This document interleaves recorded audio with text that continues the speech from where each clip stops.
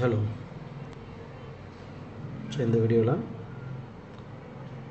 DSO digital storage oscilloscope வச்சு BIOS files எப்படி transfer ஆகுது? ஐஓ கண்ட்ரோலர்லேருந்து பயாஸ் சிப்புக்கு அண்டு பயாஸ் சிப்லேருந்து ஐஓ கண்ட்ரோலருக்கு ஓகே இது ஸ்கோப்பில் எப்படி செக் பண்ணுறது அப்படிங்கிறத பார்ப்போம். அண்ட் அஸ் வெல் அஸ் ஸ்கோப்போட அட்வான்டேஜஸ் ஓகே ரெண்டுத்தையும் பார்த்துடலாம். அண்ட் பார்க்குறதுக்கு முன்னாடி மதர் போர்டில் BIOS IC and IO controller okay so இந்த இடத்துல பார்த்தீங்கன்னா ஐஓ கண்ட்ரோலர் இருக்குது ஐடிஇ அண்ட் அது பக்கத்துலேயே பயாஸ் செக் கொடுத்துருக்காங்க. இந்த பயாஸுக்கு பேர் வந்து ஐஓ பயாஸ் ஓகே இந்த பயாஸ்க்கு பேர் ஐஓ பயாஸ் ஸோ இன்னும் பவர் கொடுக்கல. டிசி ஜாக்கில் கொடுக்கல.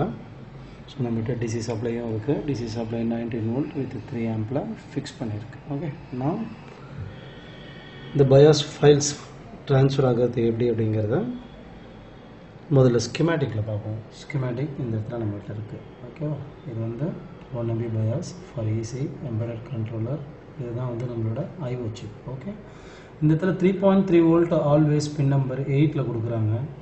ஓகே பின் நம்பர் எயிட்டில் three point three volt always voltage கொடுக்குறாங்க.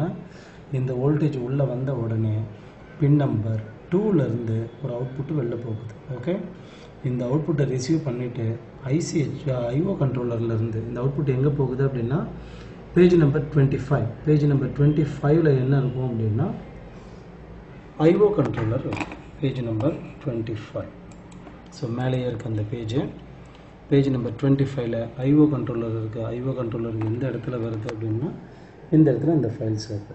ஓகேவா ஸோ இந்த இடத்துல EC underscore flash SPI D in அப்படிங்கிறது உள்ளே வருது. இது உள்ளே வந்த உடனே இந்த அவுட்புட்ஸ் ஓகேவா பேஜ் நம்பர் டுவெண்ட்டி சிக்ஸுக்கு மூணு அவுட்புட்டு வெளியில் போகுது. So again page number twenty சிக்ஸுக்கு போயிடுவோம். பேஜ் நம்பர் டுவெண்ட்டி சிக்ஸுக்கு இந்த மூணு அங்கிருந்து ஜென்ரேட் ஆகின மூணு அவுட்புட்டும் இந்த இடத்துல பயாஸ் சிப்புக்கு இன்புட்டாக உள்ள வருது. ஸோ நம்ம இப்போ செக் பண்ண போகிறது பின் நம்பர் டூலேருந்து அவுட்புட் வெளியில் போகுதா பார்க்கணும். And pin number ஒன்க்கு input pin number one pin number five pin number சிக்ஸுக்கு இன்புட் சப்ளை இன்புட் சிக்னல்ஸ் உள்ளே வருதான்னு பார்க்க போகிறோம் ஓகேவா ஸோ பேஜ் நம்பர் டுவெண்ட்டி சிக்ஸில் இருக்கிறது இது ECH I mean BIOS chip page number twenty சிக்ஸில் இருக்கிறது இது BIOS chip and page number twenty ஃபைவ்ல இருக்கிறது நம்மளோட ஐஓ கண்ட்ரோலர் ஓகே நான் இதை ப்ராக்டிக்கலாக இப்போ பார்த்துருவோம். இது டிஎஸ்ஓ நம்ம கையில் இருக்குது டிஎஸ்ஓ ஸ்டார்ட் பண்ணுறதுக்கு முன்னாடி ஃபஸ்ட்டு டெல்லுக்கு உண்டான கனெக்டரை ஃபிக்ஸ் பண்ணிடலாம் ஓகே டெல்லுக்கு உண்டான கனெக்டரை ஃபிக்ஸ் பண்ணிவிடுவோம் அண்ட் ஃபிக்ஸ் பண்ணிவிட்டு டிசி சப்ளையை கொடுத்துடுவோம்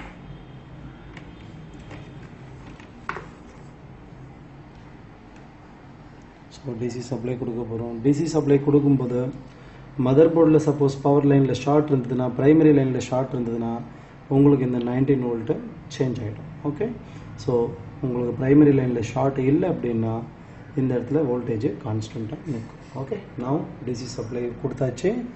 மதர் போர்டுக்கு சப்ளை வோல்டேஜ் உள்ளே வந்துருச்சு. ஓகேவா ஸோ போர்டு உள்ளே இன்டேக் எடுத்துருச்சா இல்லையா அப்படிங்கிறத ரொம்ப சிம்பிளாக செக் பண்ணலாம் மல்டிமீட்டர் வச்சு. பேட்டரியோட டெர்மினலில் three point three volt any three terminals or two டெர்மினல்ஸில் வந்துருச்சு அப்படின்னா then five volts and three point three volts step down section is okay இப்போது நான் இந்த இடத்துல வைக்கிறேன். So three point three volt இந்த இடத்துல மல்டிமீட்டரில் நமக்கு தெரியுது. ஓகேவா so three point three volt battery டெர்மினலில் வருது. So step down section is working good ஓகேவா ரைட் இப்போ நம்ம செக் பண்ண போகிறது டிஎஸ்ஓ வச்சு சிக்னல்ஸ் எப்படி ட்ரான்ஸ்ஃபர் ஆகுது அப்படிங்கிறத பார்ப்போம்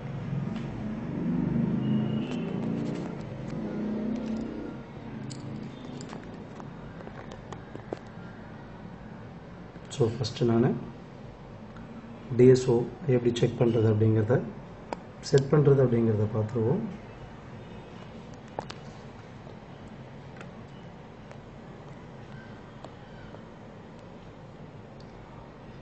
ஸோ எந்த செட்டிங்கில் இருந்தாலும் டிஎஸ்ஓவை இந்த இடத்துல இருக்க இந்த ஆட்டோ அப்படின்ற இந்த சுவிட்சை ப்ளக் பண்ணிட்டீங்க அப்படின்னா ரீசெட் ஆகிடும் ஓகே ரீசெட் ஆகிடுச்சு இப்போ.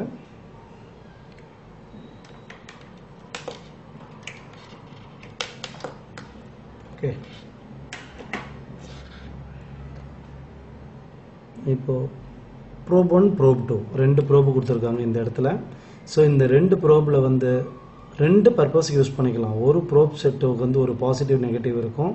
அண்டு இன்னொரு ப்ரோப் செட்டுக்கு பாசிட்டிவ் நெகட்டிவ் இன்னொன்று இருக்கும். ஓகேவா ஸோ இது வந்து மேலே இருக்கிற green colour channel one and கீழே இருக்கிற இந்த orange colour channel two so channel ஒன்னை வோல்டேஜ் மெஷர் பண்ணுறதுக்காக யூஸ் பண்ணிக்கலாம்.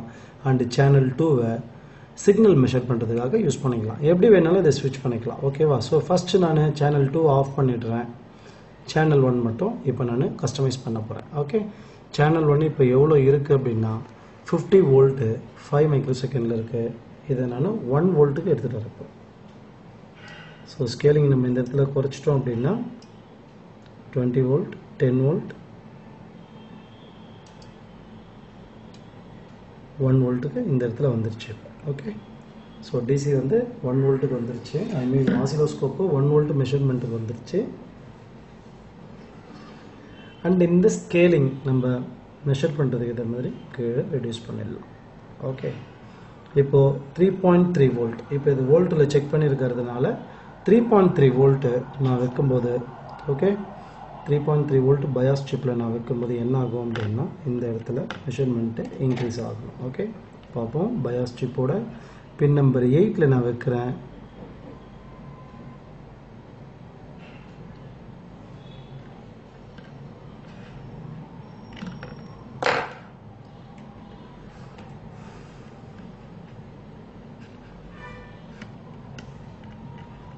S BIOS சிப்போட.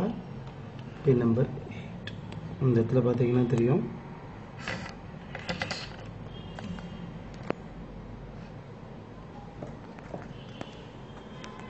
எஸ் இந்த இடத்துல பார்த்தீங்கன்னா பயாஸ் சிப்போட பின் நம்பர் எயிட் இந்த கார்னரில் இருக்கு.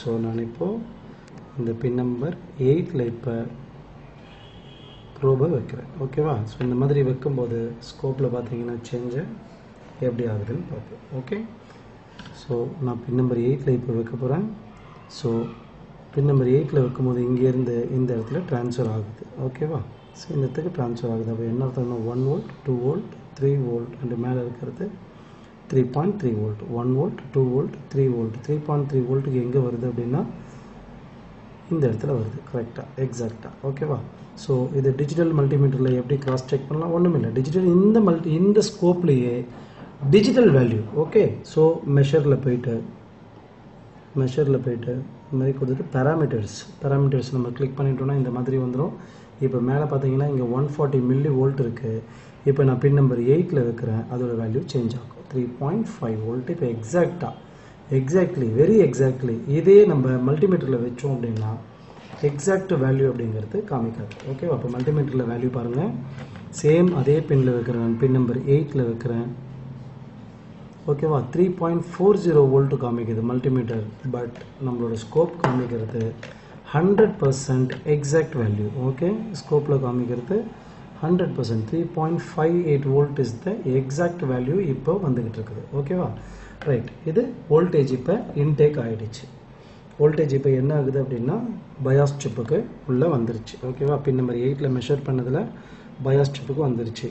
நான் பின் நம்பர் ஒன் இந்த இடத்துல இருக்குது two three four five six அப்போ பின் நம்பர் ஒன்லேருந்து ஓகேவா பின் நம்பர் ஒன்ல இன்புட் உள்ளே வந்திருக்கணும். அண்டு பின் நம்பர் டூலேருந்து அவுட்புட் சிக்னல் ஐஓ கண்ட்ரோலருக்கு போயிருக்கணும். இப்போ நான் ரெண்டாவது ப்ரோபை எடுத்துக்க போகிறேன் ஓகே ரெண்டாவது ப்ரோப் தான் சிக்னலுக்கு யூஸ் பண்ண போகிறேன் சேனல் டூ ஓகேவா சேனல் டூ இப்போ நான் ஆன் பண்ணிட்டேன். இதை தான் நான் இப்போ சிக்னலுக்கு யூஸ் பண்ண போகிறேன் சேனல் டூ இந்த இடத்துல வந்துருச்சு. ஜஸ்ட்டு சேனல் டூவை கொஞ்சம் சேனல் ஒன்லேருந்து பிரித்து வச்சிடலாம். ஓகேவா ஸோ இந்த மாதிரி வச்சிடலாம். இப்போது நான் செக் பண்ண போகிறது ஃப்ரீக்குவன்சி அப்படிங்கிறதுனால ஓகேவா ஃப்ரீக்குவன்சி அப்படிங்கிறதுனால மோட் இப்போ வோல்டேஜிலிருந்து இதுக்கு நான் ஃப்ரீக்குவன்சிக்கு வச்சுக்க போகிறேன் ஓகே ஸோ மெஷர்மெண்ட்டை மெஷர்மெண்ட்டில் போயிட்டு டைம் ஃப்ரீக்குவன்சி ஓகே நவ் இப்போ நான் வச்சேன் அப்படின்னா பின் நம்பர் டூவில் வச்சேன் அப்படின்னா அவுட்புட்டு வெளில போயிருக்கணும் ஓகே பார்ப்போம் பின் நம்பர் டூவில் வைக்கிறேன் நான் இப்போ. எஸ் ஓகே ஸோ பயாஸ் சிக்னல்ஸும் வெளியில் போகுது. ஓகே ஃபைன் இப்போ இதை ரெடியூஸ் பண்ணிக்கலாம்.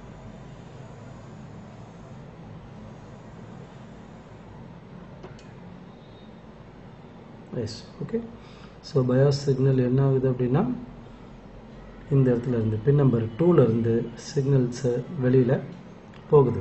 விச் மீன்ஸ் நம்மளோட ஐஓ கண்ட்ரோல் இருக்குது நீங்கள் அப்படியே போர்டில் பார்த்தீங்கன்னா தெரியும் நான் எங்கே வச்சுருக்கேன்னு. பின் நம்பர் டூவில் வச்சுருக்கேன். As per schematics pin number டூவில் சிக்னல் வெளியில் போகணும். த்ரீ பாயிண்ட் த்ரீ வோல்ட் வந்த உடனே. So three point three volt இங்கே உள்ளே வந்துருச்சு பின் நம்பர் எயிட்டுக்கு இப்போ நான் பின் நம்பர் டூவில் வச்சுக்கிட்டு இருக்கேன். அண்டு கேமரா நான் அப்படியே ஸ்கோப்புக்கு மாற்றும் போது என்ன ஆகுது? இந்த இடத்துல இருந்து பயாஸ் சிக்னல்ஸு ட்ரான்ஸ்ஃபர் ஆகுது. ஓகே பயாஸ் சிக்னல்ஸ் ட்ரான்ஸ்ஃபர் ஆகுது. நான் இந்த சிக்னல் ஐஓ கண்ட்ரோலருக்கு போன உடனே ஐஓ கண்ட்ரோலருந்து ரிட்டர்ன் சிக்னல்ஸ் வரும். இந்த சிக்னல்ஸு இங்கேருந்து ஐஓ கண்ட்ரோலருக்கு போன உடனே ஐஓ கண்ட்ரோலர்லேருந்து சிக்னல்ஸ் ரிட்டர்ன் ஆகுது. அந்த signals pin number five pin number சிக்ஸில் ஈஸியாக நம்ம மெஷர் பண்ணலாம். ஓகேவா pin number one pin number five and pin number six okay நான் இப்போ நான் பின் நம்பர் ஒனில் வைக்க போகிறேன் பின் நம்பர் ஒனில் வச்சுட்டு நான் ஜஸ்ட்டு கேமராவை அப்படியே நான் உங்களுக்கு இந்த இடத்துல இருக்கிற ஆசிலோஸ்கோப்புக்கு ரிட்டர்ன் பண்ணுறேன் ஸோ இது வந்து return signal from IO controller okay IO கண்ட்ரோலர்லேருந்து pin number ஒனில் வருது. பின் நம்பர் டூலேருந்து அவுட்புட் போனதை ஏற்கனவே பார்த்தோம். அகைன் மறுபடியும் நான் பின் நம்பர் டூவில் வைக்கிறேன்.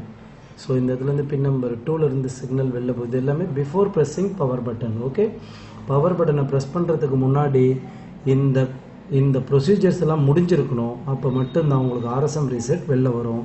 ஆர்எஸ்எம் ரீசெட் வெளியில் வந்தால் தான் போர்டு பவர் ஆன் பண்ண உடனே பவர் ஆன் ஆகும். ஓகே நான் இப்போ நான் வைக்கிறது பின் நம்பர் டூவில் இந்த இடத்துலேருந்து வெளியில் போய் ஐஓ கண்ட்ரோலருக்கு போகுது. ஐஓ கண்ட்ரோலர்லேருந்து பயாஸ் சிப்புக்கு உள்ளே வர்றது நான் பின் நம்பர் ஒனில் செக் பண்ணுறேன் ஓகே பின் நம்பர் ஒன்ல ஸோ பயாஸும் கரெக்டாக ஒர்க் பண்ணிகிட்டு இருக்கு. ஐஓவும் கரெக்டாக ஐ மீன் ஐஓவும் கரெக்டாக ஒர்க் பண்ணுது.